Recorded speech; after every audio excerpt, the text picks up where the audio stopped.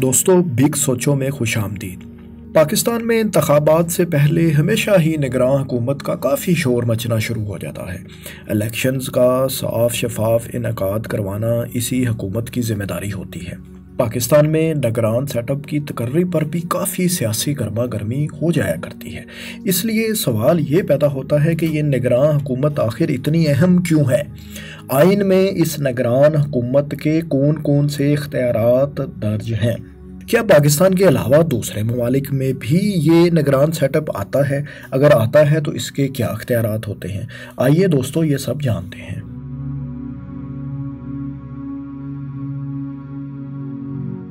तो दोस्तों, जैसा कि नाम ही से ज़ाहिर है, निगरान हुकूमत इलेक्शन की निगरानी के लिए बनाई जाती है।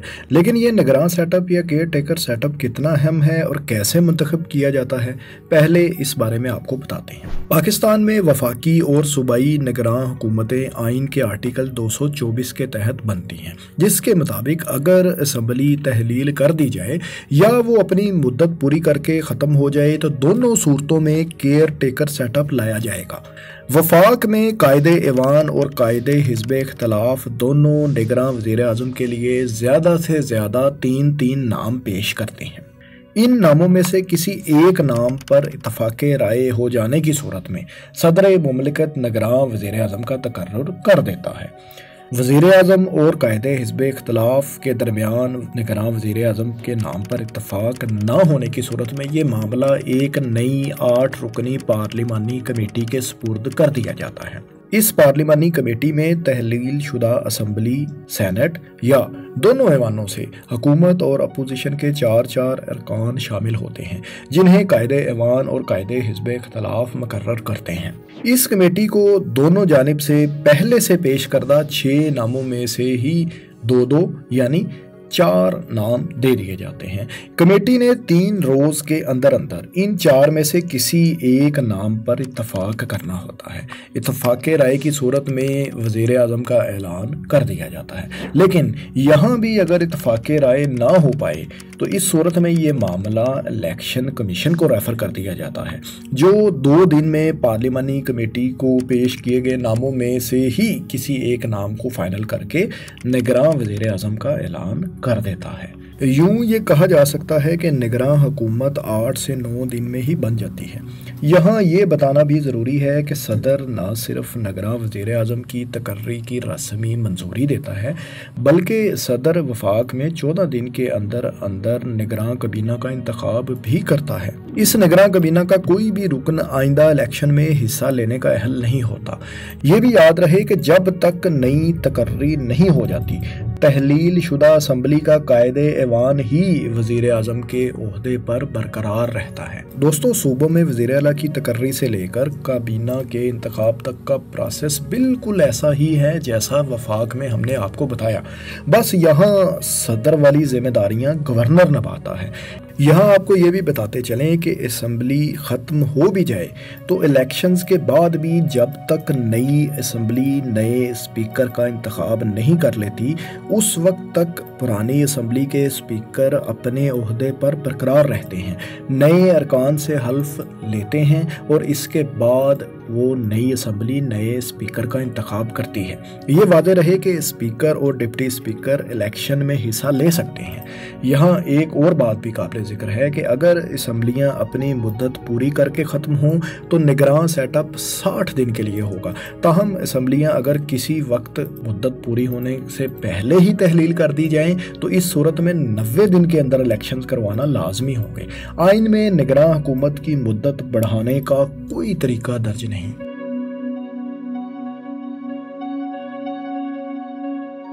दोस्तों के टेकर हुकूमत की सबसे अहम ज़िम्मेदारी इंतबात का इनका है। वो रोज़मर्रा के मूर सल्तनत चलाने में मकम्मल अख्तियार रखती है, लेकिन इसे पॉलिसी फ़ैसला साजी या पॉलिसी डिसीज़न लेने का इख्तियार नहीं।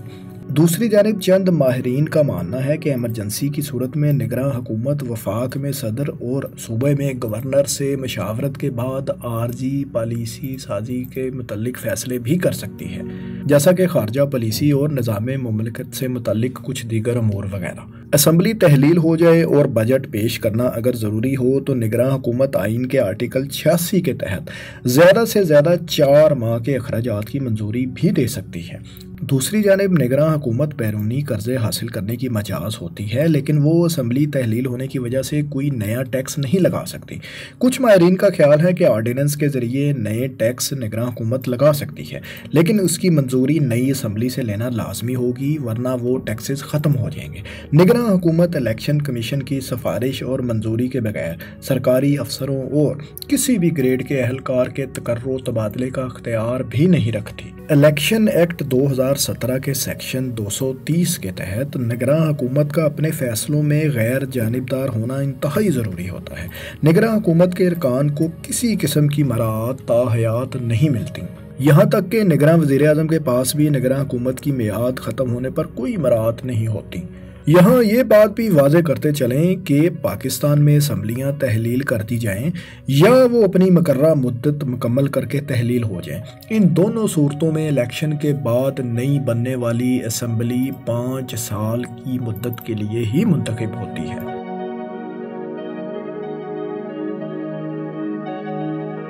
दोस्तों, शायद ये बात आपके लिए हैरत का बायस हो कि हर मुल्क में इलेक्शन से पहले निगरान हुकूमत कायम नहीं की जाती। दुनिया में पाकिस्तान के अलावा ऐसा setup Australia, New Zealand, Canada और हॉलैंड में भी मुख्तलिफ़ मददों के लिए कायम किया जाता है, जिसकी बुनियादी ज़िम्मेदारी इलेक्शन करवाना ही होती है। यूँ हम कह सकते हैं कि केयर टेकर सेटअप सिर्फ़ उन चंद ममालिक में ही कायम होता है जहाँ पार्लिमानी निज़ाम हुकूमत राइज है। पाकिस्तान में तो रवायती तौर पर सबक हुकूमत के किसी रुकन को निगरान सेटअप में शामिल नहीं किया जाता और ना ही उसे इलेक्शन लड़ने की इजाज़त होती है। लेकिन कुछ ममालिक में हुकूमत में शामिल अफराद को ही निगरान हुकूमत का हिस्सा भी बना दिया जाता है, जैसा कि ऑस्ट्रेलिया में होता है, जहाँ वज़ी अजम खुद ही इलेक्शन से पहले अपनी हुकूमत को केयर टेकर मोड में ले जाते हैं। यानी जो हुकूमत काम कर रही होती है, उसके तमाम या कुछ अरकान सिर्फ़ रोज़मर्रा अमूर के लिए अपने अख्तियार का महदूद इस्तेमाल करते रहते हैं। तहम हुकूमत के इंतहाई मतनाज़ होने और गैर मामूली हालात की वजह से अलग से नगरा हुकूमत भी कायम की जा सकती है, जैसा कि उन्नीस सौ पचहत्तर में आइनी बहरान के दौरान किया गया, जब ऑस्ट्रेलिया के गवर्नर जनरल ने इस शर्त पर नगरा हुकूमत कायम की कि वो जल्द अज जल्द इंतबात का इनका करवाएगी। न्यूजीलैंड की बात करें तो यहाँ का निज़ाम थोड़ा सा मुख्तलिफ़ है। न्यूजीलैंड में असम्बलियाँ अपनी मदद पूरी कर लें या वक्त से पहले तहलील कर दी जाए, या फिर हुकूमत पार्लियामेंट का अतमाद खो दे तो निगरान सेटअप कायम कर दिया जाता है। इसकी मुद्दत इंतहाई मुख्तसर यानी चंद घंटों के लिए भी हो सकती है, जो उस वक्त तक रहती है जब तक नई हुकूमत कायम नहीं हो जाती। न्यूजीलैंड में निगरान हुकूमत किसी कानून से ज़्यादा रवायात की पाबंद होती है, जो मुख्तलिफ़ ममालिक के निज़ाम से अखज़ की गई हैं। न्यूजीलैंड में उन्नीस सौ चौरासी और उन्नीस सौ तिरानवे के जनरल इलेक्शन के बाद पैदा होने वाली सूरत हाल की वजह से ये मतालबा ज़ोर पकड़ गया कि निगरा हुकूमत के लिए बाकायदा कानून साजी की जाए। लेकिन अभी तक इस सिलसिले में बहुत थोड़ा काम किया गया है और निगरा सेटअप रवायात पर ही चल रहा है। कनाडा में इलेक्शन की तारीख का ऐलान होने के बाद नई हुकूमत के क्याम तक वज़ीर अजम और सूबाई हुकूमतों के सरबरा या प्रीमियर अपनी हुकूमतों को केयर टेकर मोड में ले जाते हैं। यानी वो सिर्फ़ रोज़मर्रा के अमूर चलाने और इंतबात का शफाफ अंदाज में इनका करवाने के ज़िम्मेदार होते हैं। वो कौमी पॉलिसी से मतलब कोई भी बड़ा फैसला नहीं कर सकते। हैरान कन तौर पर कनाडा में निगरान हुकूमत के मोड़ पर कोई बाकायदा कानून मौजूद नहीं। न्यूजीलैंड की तरह यहाँ भी रवायात बहुत वाजे हैं, जिन पर हर निगरान हुकूमत अमल करती है और इलेक्शन करवाने के साथ साथ रोज़मर्रा के अमूर भी सर अंजाम देती है। दूसरी जानब हालैंड में एक हकूमत के ख़ात्मे से दूसरी हकूमत के क्याम तक निगरान हुकूमत कायम की जाती है, जिसे डी मिशनरी कैबिनेट कहा जाता है। इस निगरान हुकूमत की मुद्दत मुकर नहीं होती। और एक बार 1977 में ये नौ माह तक भी कायम रही थी। या हम आपको ये भी बताते चलें कि हमसाया मुल्क भारत में इलेक्शन से पहले किसी किस्म की अबूरी या निगरान हुकूमत का कोई तस्वर नहीं। इलेक्शन की तारीख आने के बाद हुकूमत कोई बड़ा फैसला नहीं करती।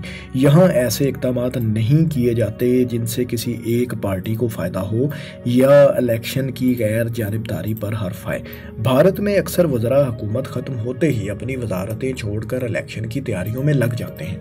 इलेक्शन कमीशन बहुत बाख्तियार होता है। और अगर वो समझे कि कोई हुकूमती रुकन इलेक्शन पर असरअंदाज होने की कोशिश कर रहा है तो वो उसे तब्दील भी कर सकता है। इलेक्शन का शेड्यूल जारी होने के बाद हुकूमत इलेक्शन कमीशन की इजाज़त के बगैर मामूली से मामूली तकर्री या तबादला भी नहीं कर सकती।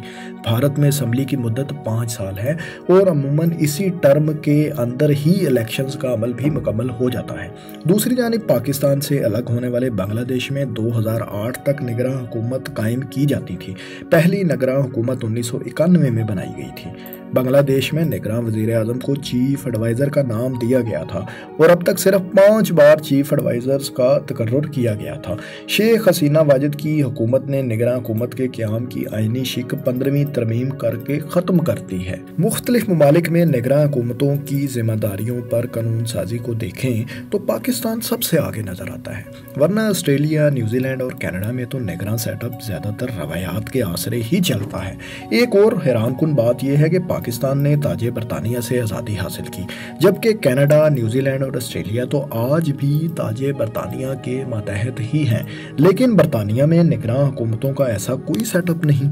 दूसरी जानब कॉमनवेल्थ के दूसरे रुकन ममालिक में भी निगरान हुकूमतों का निज़ाम नज़र नहीं आता। बुनियादी तौर पर उन्नीस के आइन में निगरान हुकूमत के बारे में कोई शिक मौजूद नहीं थी। ताहम उन्नीस के इलेक्शन में धांधली के शदीद इल्ज़ाम के बाद निगरान हुकूमत के क्याम के हक में काफ़ी नारे लगे। सबक सदर ज़याल हक ने उन्नीस सौ पचासी में आर सी ओ या रिवाइवल ऑफ़ कॉन्स्टिट्यूशनल आर्डर के तहत हासिल खसूसी इख्तियार के ज़रिए आइन में निगरान हुकूमत के क्याम की तरमीम की, जिसे उन्नीस सौ पचासी में होने वाली आठवीं तरमीम में आर्टिकल फाइव बी के तहत तहफ़ दे दिया गया। 1988 में फौजी आमिर ज़ियाल हक ने मोहम्मद खान जनेजो की हुकूमत को बरतरफ कर दिया और साहबजादा याकूब खान की सरबाही में निगरान काबीना बना दी गई, जिसका कोई वज़ीर अजम नहीं था। यानी साहबजादा याकूब खान पहले निगरान वज़ीर अजम नहीं थे। ज़ियाल हक इलेक्शन करवाने से पहले त्यारा हादसा में चल बसे तो उन्नीस सौ अठासी के इंतबात की निगरानी उस वक्त के सदर गलाम इसहाक खान ने की।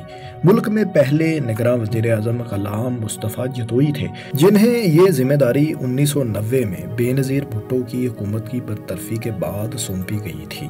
इसके बाद बलक शेर मजारी मोइनुद्दीन क्रैशी और मलक महराज खालिद निगरान वज़ीर अजम रहे। ताहम दो हज़ार दो के इंतबात फौजी आमिर परवेज़ मुशर्रफ की निगरानी में हुए। आइन में आर्टिकल दो सौ चौबीस का इजाफा लीगल फ्रेमवर्क ऑर्डर के तहत किया गया, जिसकी तोसीक आइन में सत्रहवीं तरमीम के ज़रिए की गई। दो हज़ार सात में इलेक्शन से पहले पहले मोहम्मद मियाँ सोमरो को निगरान वज़ीर अजम मुकर किया गया। पाकिस्तान में अठारहवीं तरमीम से पहले सदर ही निगरान वज़ीर अजम का तकर्र करता था। मकम्मल अख्तियार सदर को इस बारे में हासिल होता था, ना ही कोई पार्लिमानी कमेटी बनती थी और ना ही सदर को कोई नाम लीडर ऑफ़ अपोजिशन और लीडर ऑफ़ हाउस की तरफ़ से रिकमेंड किए जाते थे। ताहम अठारहवीं तरमीम के तहत ये अख्तियार सदर से लेके पार्लिमानी कमेटी और इलेक्शन कमीशन तक ले जाए गए।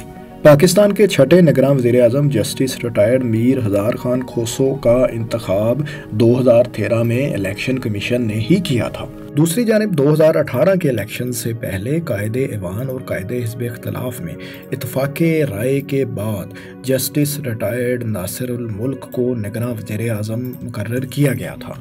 दोस्तों, निगरान हुकूमतें इलेक्शन के साफ़ शफाफ और गैर जानबदार इनका के लिए कायम की जाती हैं। लेकिन ये किसी सूरत भी गैर जानबदार और धांधली से पाक इलेक्शन की जामिन नहीं। अक्सर अवकात इलेक्शन के बाद धांधली का शोर ज़रूर मचता है। ऐसी सूरत हाल में निगरान हुकूमतों का क्याम सिर्फ़ एक आइनी और कानूनी तकाजा बनकर रह गया है। आप कमेंट्स में अपनी राय से बताएँ कि आपको क्या लगता है, क्या निगरान हुकूमतें साफ़ शफाफ इलेक्शन के इनका के लिए ज़रूरी हैं? और ये बताएँ कि आपको ये वीडियो कैसी लगी और इस तरह की मज़ीद मालूमती वीडियोज़ के लिए हमारे चैनल को भी सब्सक्राइब कर लें। शुक्रिया।